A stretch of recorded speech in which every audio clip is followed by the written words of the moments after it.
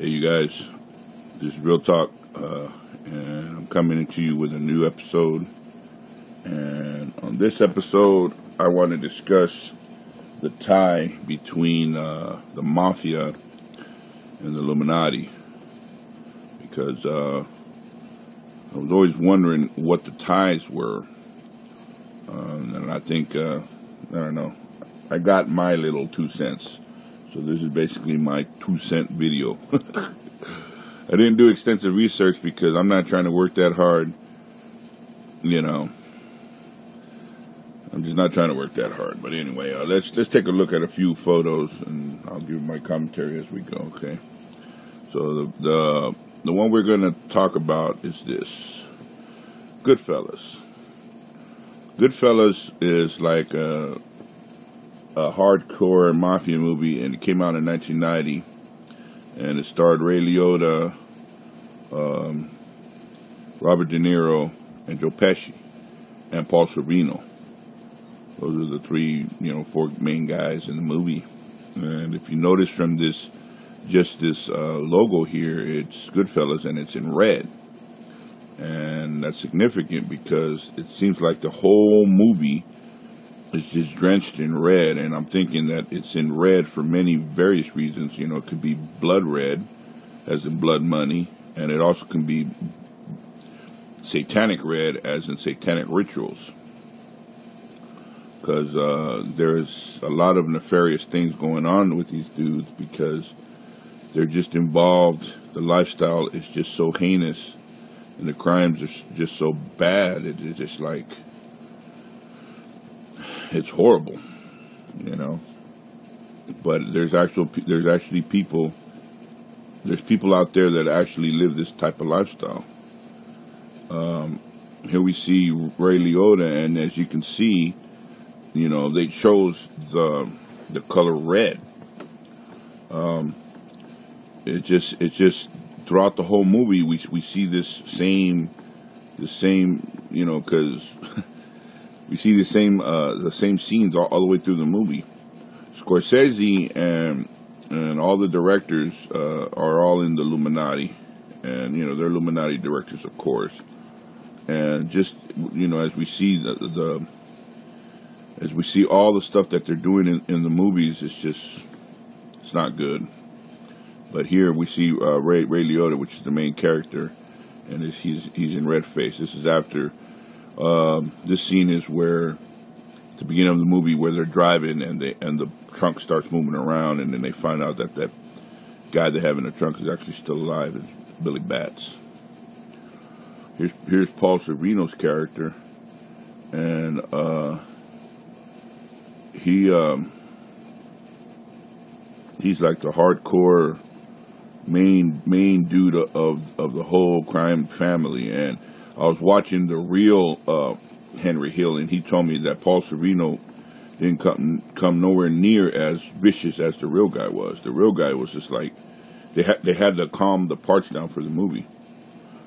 Scorsese said um, that he didn't want to see the real guy because they, they, they were that scary in real life. That I mean, those dudes were like they were devils basically.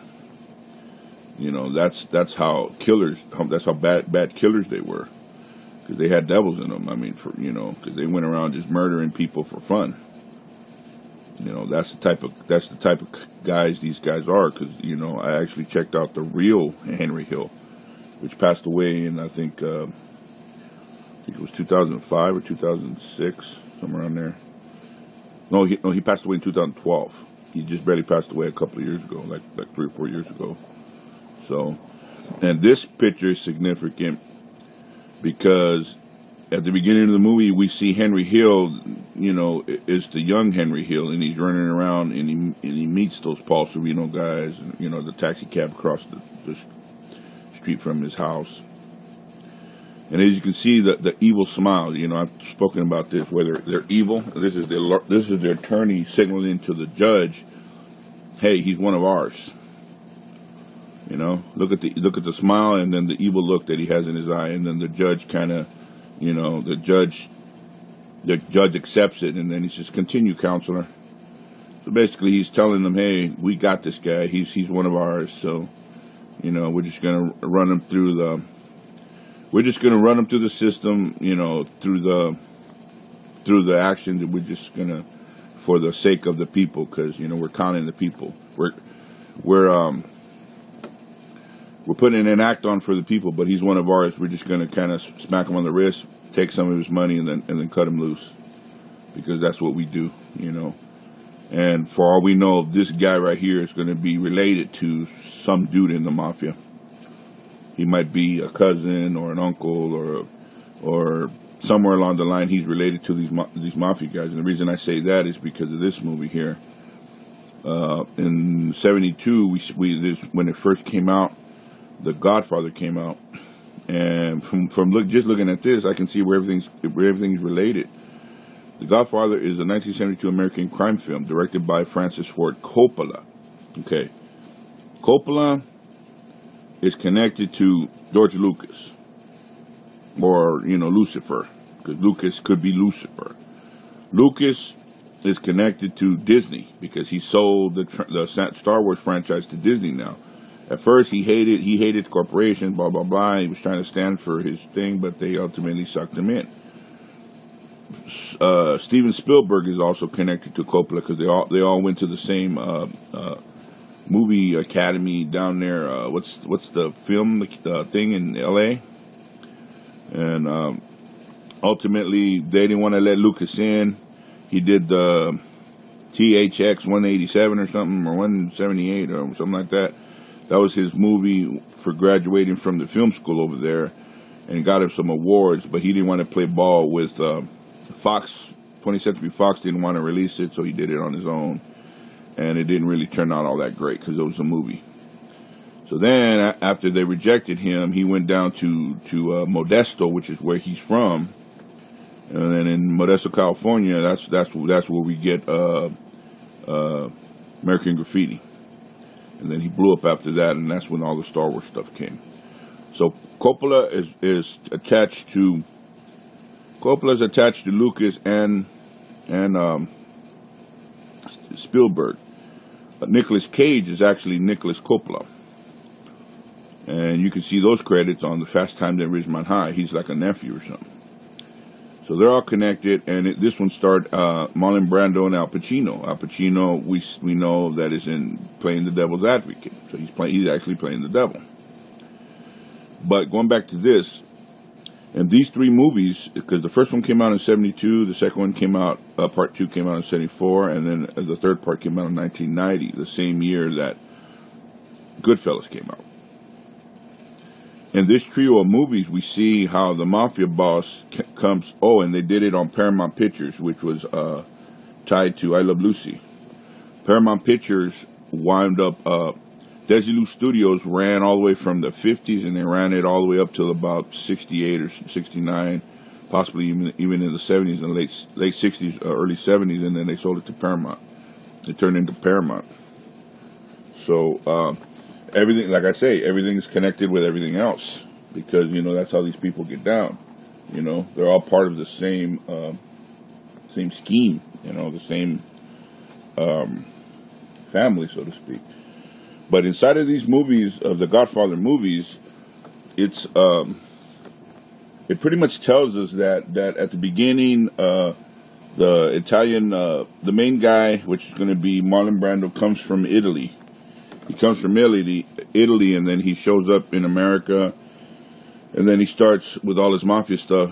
And I think it says here it, it started in the 45, so that would have been right after the war, you know, the Second World War. So when he came over, he started in New York, and, and he landed in New York. So then he started all, all, all his mob stuff.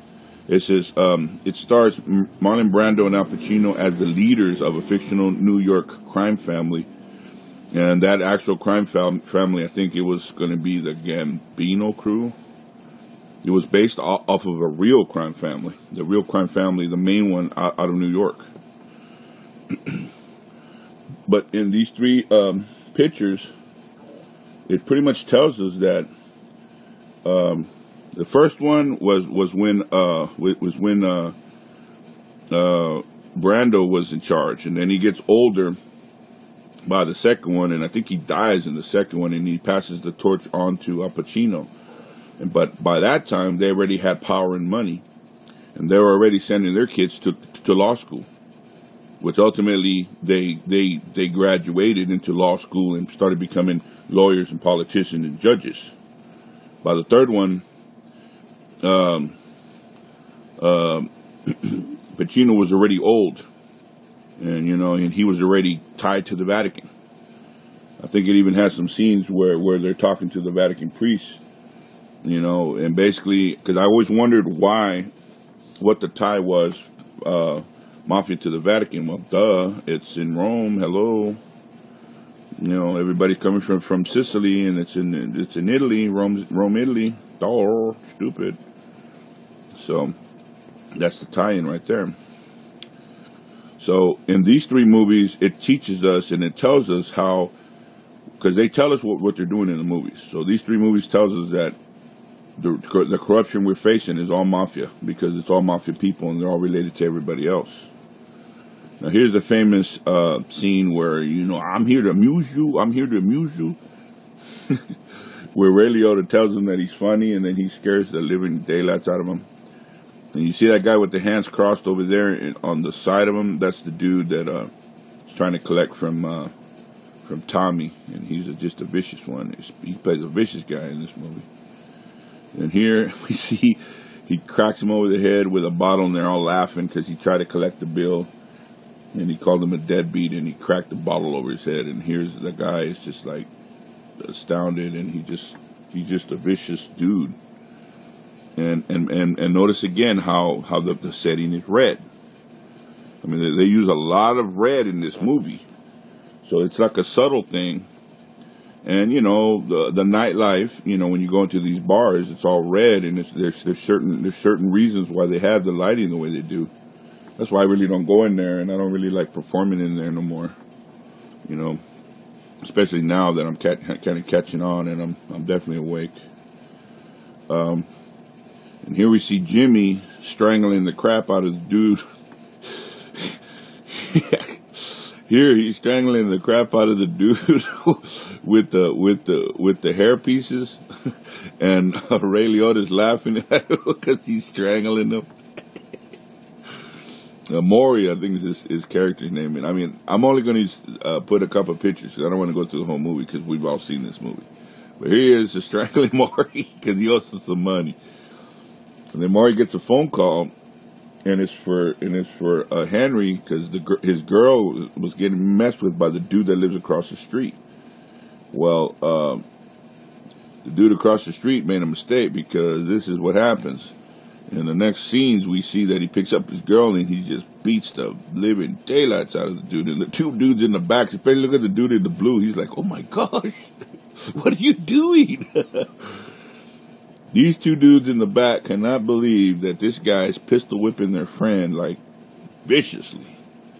Ray, Ray Liotta just goes on a like a nasty rampage, and at before I was like I was completely saved, and I knew this was one of my favorite parts of the movie. Before I was like awake, because I mean he just brutally beats him down, like teaches him his lesson, like yeah. but now that I see this is just straight evil you know, and there, there again, a red car. You know, they're using a lot of red in this in this film, and the dude in the blue is just can't believe like what a vicious beating his friend is taking from the other guy. But he taught him a lesson to never touch Karen again because he'll kill him. And then the guy in the back says, "Don't shoot," because he pointed the gun him. Don't shoot.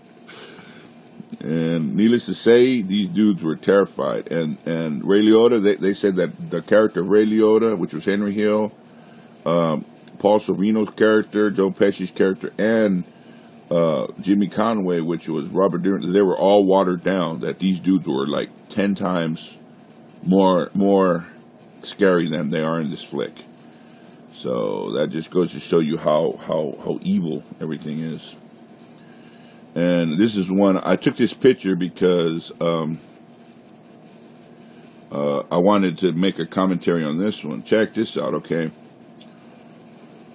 after the guy cracks uh, that dude in the, after Joe Pesci character cracks that guy in the head, he goes to Paulie and he asks him, "Hey man, you know, uh, uh, uh, Tommy is you know is vicious, you know, be my partner." And the guy says, "Okay, well, you know, finally convince him to be partners with the restaurant." This is the restaurant that he had, but but they they borrowed everything from the bank, you know, and they pretty much bankrupted the business because they were they were just they just caved everything in because you know what do they care? They're they're thieves. They're thieves. they uh that's what they do for a living. They steal for a living. So and then and then the the commentary of Ray Liotta is like uh, once you borrowed everything from the bank and there's no more you know there's no more there's nothing else you you you light a torch you burn it and this is them setting up the thing so they can burn it. Now the funny thing is this is they burn it for the insurance of of the place so they can get paid from the insurance. But here's the funny thing. There's one thing I noticed. the bankers are committing fraud on, on the entire planet. You know, but they can commit fraud and get away with it and nobody does nothing to them. But you, you see these two dudes, they're committing fraud by burning the place and, you know, and trying to get away with it and they may get away with it, you know, because there's a lot of fraud, there's a lot of arson and there's a lot of that stuff going on. But if they catch them, they'll they'll get like serious serious time in jail. So isn't that something? How how it's it's slanted, you know, only one way. They can do it, but we can't. Nah, I'm not. I'm not a big fraud person anyway. I wouldn't do fraud anyway because you know thou shalt not bear false witness and steal, covet. You know, but I'm just making that that connection. How the Illuminati can commit fraud and there's no there's no punishment. But anybody out of the out anybody away from that 1%, and you got some serious punishment coming. That's something. Okay. This is when uh, Henry takes Karen to the, you know, he's he's wining and dining her when, when they first meet, blah, blah, blah, and they go, and Bobby Vinton sends them a thing of wine. So, and the real Henry Hill says, yeah, man, you know, I used to have Frank Sinatra, Dean Martin, Sammy Davis Jr., they were all like flying into New York and they were he was he was rubbing elbows with all those dudes, you know. So uh, this goes to show you how uh, it was all connected back then. So see now the mafia is connected to the to the entertainment, you know.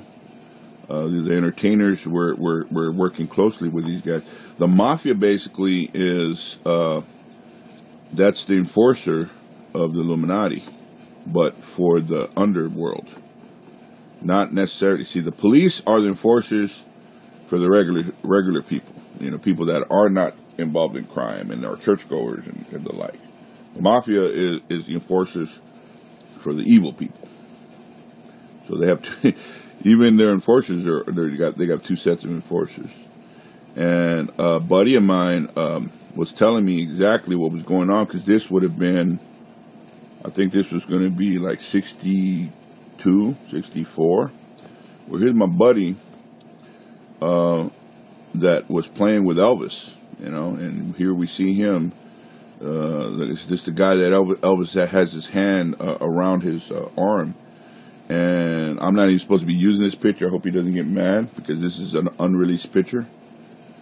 Uh, this picture might be worth a great deal. So if you guys are watching this thing, you might you know, get a copy of it. But yeah, that, that's an authentic picture of Elvis.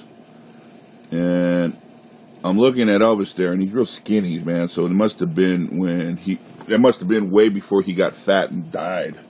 Because we, as we see, I think he died when 74 or something, somewhere around there, 75. That was when he was bloated and all that. My buddy tells me, uh, and my buddy's in Las Vegas, and you know, I've talked with him, and he would tell me, yeah, man, Elvis was cool. Um, he was a good dude. He would give us rings. He would give us a bunch of stuff, you know, like like bonuses.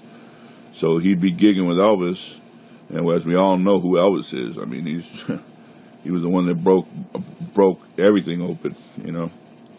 And uh, coincidentally, uh, Elvis was what Elvis was uh, was demon possessed. You know, that's what all the gyrating hips and all that stuff came from. It turns out, I mean, there's a lot of documentaries where we see Elvis is possessed.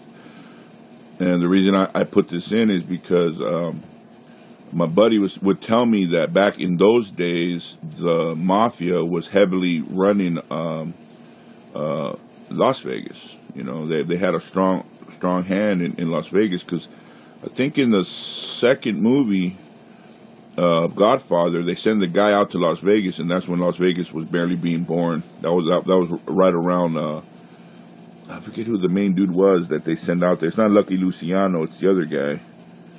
Uh, there was this one. Uh, I forget the dude that started Las Vegas. He he went out there and he had a contract to to build all the buildings, and then he couldn't make it, and they went they wound up killing him. Bugsy. Uh, Bugsy. I forget what his name is. Anyway, so my buddy's telling me all the way the corporate because see the corporations took over Las Vegas in the, in the around the 80s, and we see that in in the movie Casino, how it used to be the mafia controlled. Mafia was running Vegas solely, and Vegas is basically the money laundering for the Illuminati. That's why that city's there. That's why it's called Sin City, because you can just do all the debauchery you want and then leave. But what that really is, is, is there to launder the money. Because gambling, you know, how can you tell who's doing what? But that's actually the money laundering of the Illuminati. But my buddy would tell me, you know, uh, Elvis would give him rings, he would give him bracelets, he would just, you know, give him a bunch of stuff. Here, man, uh, uh, take this, man. I'm gonna give you know, you did a great job tonight, and he would give him stuff, and he would talk with him like regular. Hey, hey, you know, what's up? Hey, well, come here, and he would hang out. Well, you see, he's kind of puts his arm around him, like, hey, you know, they were hanging out and stuff. But uh, yeah, this is um, that was back when when uh, um, the mafia was running Las Vegas and was heavily uh, influencing the entertainment industry. Now we see in this epi- in this scene where they're killing the Billy Batts character. That was a dude that was in the trunk.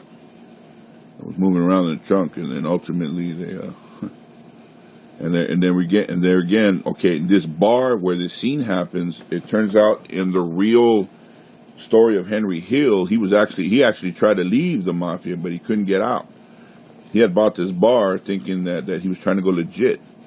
And, and that, that was weird because in the movie it doesn't mention anything about him leaving. It just it just a, it's a, just a constant uh, storyline. But the real story of Henry Hill, because Henry Hill actually said himself he was trying to leave and he just couldn't get out. What when this eh, when this thing happened, here they're, they're killing Billy Batts. Uh, they said that it was over a beef, like go get your shine box. It was like a disrespect, but it wasn't a disrespect. Here he's still alive in the trunk, and they're still sta- and here goes Tommy stabbing him, and then they shoot him. He says he never got shot; they just stabbed him like sixty times. But for the movie's sake, they don't want to show Tommy stabbing him sixty times. He stabbed him a few times, and then they shot him because it was just it was just easier, you know, for the movie's sake. But in reality, they killed a made man. Tommy had killed a made man, and you can't do that. That's against the the mafia had the Ten Commandments of the mafia and you can't just kill um, the crime bosses. You know, you had to have a sit down, and you had to have a, a real beef, and they they even got rules that you can't break, called the, the Ten Commandments of the Mafia.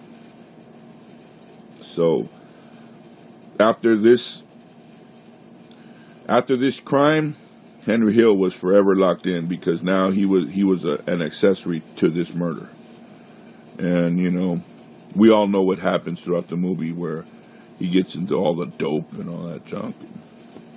But but again, notice all the red. Look look look at all the red. Look at all the, the, demonic uh, influences and, and, blood money and, and, it's a lot of blood, a lot of gore. You know, um, and it seems like every there's like just uh, there's Karen pulling a gun on Henry when he's in his bed. So he wakes up to a barrel of a gun. and needless to say, he kicks her behind, and you know, but she's all pissed off because she's cheating on. On she finds out that he's cheating with the other chick, uh, and you know, he you know yeah he gets out of it, but he's real careful because he doesn't want to get shot. I mean, you you're asleep and you wake up into the barrel of a gun like in your face. That would not be a nice uh, thing to see. I'll be honest with you.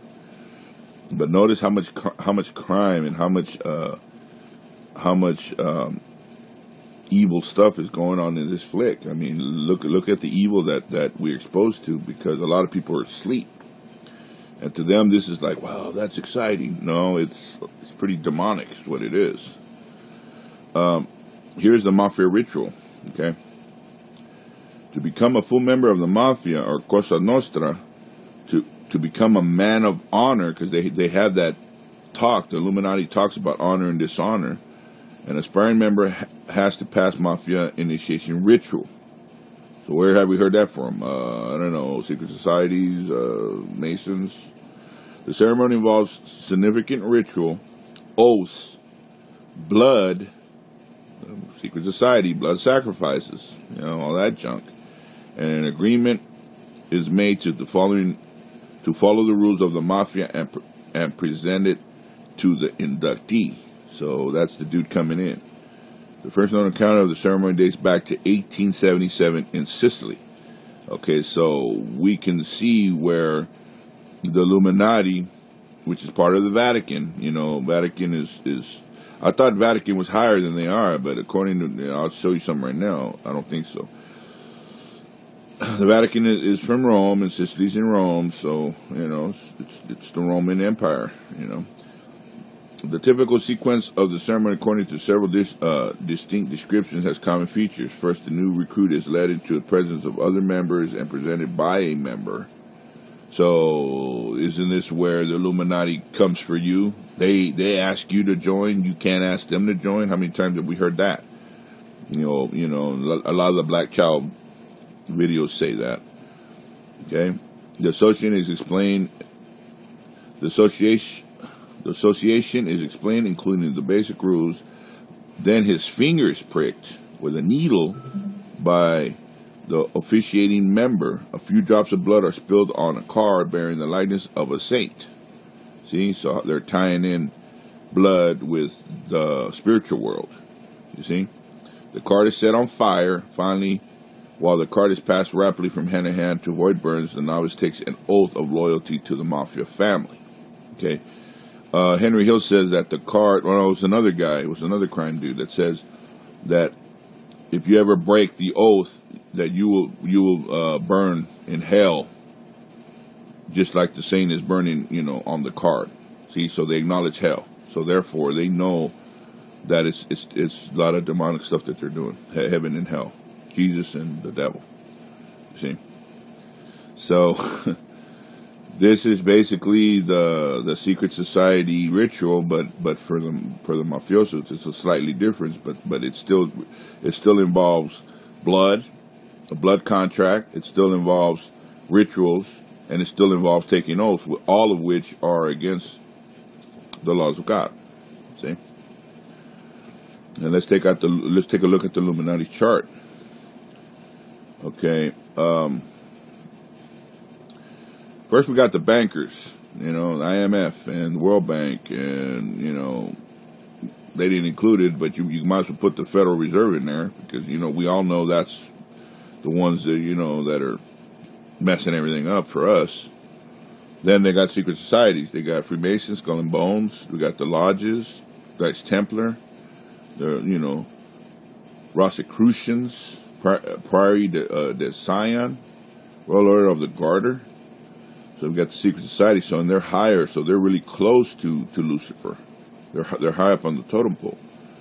And we got the political groups: Bilderbergers, Trilateral Commission, Club of Rome, Bohemian Grove. We've all heard of those. NATO and all that junk. You know, that's basically Washington, all the Washington crowd. And then check this out: in the intelligence group, we got CIA, KGB, FBI, and look where mafia's Mafia and the drug cartels and Interpol are all, all in there with the intelligence agency. so the mafia, so they have the CIA, KGB, FBI, British intelligence for the regular people, and then they have the mafia and Interpol too. But mafia, drug cartels, Communist Party for the for the evil ones. You see how they have them both on the intelligence group. So that's their their enforcers, the cops, and the mafia and it even says in uh, um, It even says inside of the movie. Uh, that's what the that's what the, the, the FBI can't understand that, that, that what the what the organization does is give protection to people that can't go to the cops. They're they're like a police force for wise guys. See, they tell you in the movie that that's what they are. They're the cops for the the criminals. They're the enforcers. If you get out of line, they kill you. You know, drug cartels. You know, look, look how vicious that industry is. Guns and just the carnage that goes on there. Look at uh, Scarface. That's another Scorsese uh, film. Then they got the religious groups, New, New Age cults. See, New Age, Vatican, phony baloney, uh, supposedly Jesus, liberal Protestant domination. Uh, can anyone say Amish? Hmm? You know, because of the Ordnung and all that stuff. I think they're Protestants. Actually, they're Anabaptist. So maybe that's not that's not true. So I better rescind that comment. Uh, Parliament of religions. So see, these are the phony baloney religions dominated by the Illuminati, but but they want to. People love to put all religions together and then throw them, throw them away, and they're they're all bad. No, they're not all bad. You know, but I definitely wouldn't wouldn't uh, follow the Vatican for sure. Unitarian, you know, Universalist Church, Temple of Understanding. I don't know what those are. Unity Church. Education groups. Okay, we got World Peace, Lucis Trust, which is Lucifer Trust. You know, that's the same one from uh, Ayn Rand. Uh, you know, the yeah, that's a publishing company. Media establishment. Okay, so what does that mean? Media that means uh, Fox News, CNN, all all all of the media and the entertainment. You know, they're controlling the entertainment too, because that's media too. And media is part of the entertainment, all being controlled by Lucifer, which is Illuminati, which was the, those uh, one percenters. So, I mean, these dudes are just straight rotten, man. I mean, wow. And they even have their own blood rituals and sacrifices and whatnot. Now, obviously, they're not going to tell us that in in the pictures because all that stuff is hidden. But after watching the the documentary on Henry Hill, okay, at the end of this movie, he winds up snitching out Paul, uh, Jimmy Conway, and uh, the Paul Sorvino character Paulie, whatever his name is, and they wind up going to prison, and he's in the witness protection program. Well, guess what? As soon as those dudes went to prison for the next 25 years, there was a hit on Henry Hill for over a million dollars, or it was either half a million or a million. They were trying to kill that dude because he was just ratting. He ratted out 50 guys in the crime families of New York. So they really had it in for him, and he just was running and running and running and running. So he couldn't he couldn't rest. See, those demons was on him for him turning and helping the police, you know, uh, prosecute the other guys. Now, one good thing is this. Now, now I do have a ray of hope. Okay, God is there to protect us, and He's still prevalent, and He's still He's still His presence is still here. You know, so I'm not going to throw a, a big giant boulder at the you know the the FBI and the CIA and Okay. We've all heard stories how they're just corrupted beyond belief, and we don't like it, of course. However, going back to what I've been saying in all my videos, I'm telling you, those Ten Commandments work. Um, something curious happened to me today. Okay, I'm, I'm, I'm, I'm gonna, I'm gonna share a few things. since I've been uploading these videos and I and I've been uh, you know steadily proclaiming Jesus Christ, the Holy Spirit, and Almighty God as truth and as number one, man, I'm giving Satan black eyes left and right. As soon as I woke up this morning, I had to go run some errands. Okay, so I go to find some documents that I needed, specifically a money order. It was an uncashed money order. I mean, I was going to buy some services, but it turns out the service kind of backed out, and they were not going to accept any more payments or any more orders. So I just had like an empty money order. Well, I look high and low, and it's missing. After I give up because I figured someone had taken it, I give up, and then some told me look at the ground, and I looked in the ground, and it was sitting right there on the ground. So I find it. So then I said, okay, well now I got to go run the errand. So I go run the errand, and as I'm backing out of my out of my driveway, there's a bunch of glass there. I'm like, wow. So now I got to clear all the glass because I don't want to get any flat tires. Needless to say, so that took a minute. Then I run down to the thing. I, I get the I get the money order cash back out, get it, and then I have to go to the grocery store because I was running low on groceries, and I get there. I get there, and uh, I'm conducting my business, and the next thing I know, I go to check for for the money that I just cashed for the money order, and it's missing. I'm like, oh, here we go. So I go walking around trying to look for it, look for it, look for it. Thank God that the guy that works at the grocery store found it and returned it back to me. Everything was there because he saw I was frantic. I'm like, man, I said, you know, this is my car payment, man. I gotta. And then he kind of felt guilty and he gave it to me, and then I gave him twenty bucks. Then I get, then I get home and then go to another store because the the first store didn't have what I was looking for. I went to a second one, and as I'm trying to leave the as I'm trying to leave the store, the the electronic thing won't let the electronic wheels get out of the store, so I get stuck. So then the manager dude comes, oh well, you know, it won't let you because of such and such. I can just help you carry this to your car. I'm like, okay. Then I get home. Then I get home, and uh, my sister had borrowed borrowed my extension cord, and she has one of the electronic mowers and she was mowing the grass earlier, and then I, and then she had left the mower there, and my my extension cord was attached, so I just went to go unplug it, and the cord got the cord got stuck, so I had to pry it loose, and it kind of ruined my cord, which I'm kind of bummed over, and I got to replace. But what I'm getting at is just all this morning, I just had nothing but issues and more issues and more issues and more issues, and what that represents is this. See, Satan can't attack me direct but he can definitely uh, sabotage. So uh, this is just a, a, this is just a, a, tip for the people that actually do listen to this video. Um, be be wary of Satan's sabotages and, and try to be as detail oriented as possible. Because the glass in, in front of the uh, front of the driveway, if I wasn't paying attention, I would have got a bunch of flat tires, and it would have been my fault. Because he does stuff like that. He'll throw he'll throw he'll he'll have like like like like uh, uh, nails and, and glass and stuff around your car, and you don't notice, and then you just back out like normal because you're not paying attention. And next thing you know, boom. Now, now you have a flat. Now, now there's an expanse. Now you have the hassle of having a flat tire, and then you got to fix it, and it's just a big hassle. Same with with open container uh, soft drinks or, or milk or water or whatever, and it's in an open container. That's why I like having bottles with caps. That way, you know, you can cap it and set it anywhere, and it, it, if it falls, it won't spill and, and ruin your electronics or blow stuff up. Satan is a punk, man. He'll set you up, and then it's and then if you're not paying attention, you know, that's what happened to a hard drive of mine. That's why now I put all hard drives on the floor. It was on the table, and you know, and it's almost as if it was done on purpose because it was on a table which was about maybe two or three feet off the ground.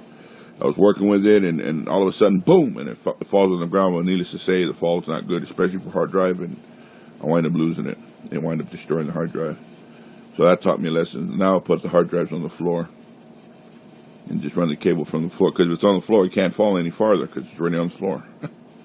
anyway, um, this is just my two cents of, of how uh, the mafia is tied into the Illuminati because I always wondered why they were so close. Uh, because you know the, the, they always seem so you know the, the, priest and you know the Catholic Church and so it's all it's all rotten all the way through. You know you see the Vatican is tied over there, that but and, and the Vatican is not even as high as the Freemasons. See the Freemasons are higher than the Vatican. They're they're they're like really close to the top to the one percenters. So they, it turns out that they have their own blood rituals, and they're the the the enforcers for the criminals. They're the cops for the criminals. There's cops for us, for the regular people, and then there's cops for the underworld, and that's the mafia. Anyway, um, just wanted to uh, post this video and uh, just go over a few things. Uh, and thank you guys for hanging out and checking out my videos. It's pretty cool. I've been I've been watching my numbers and stuff, and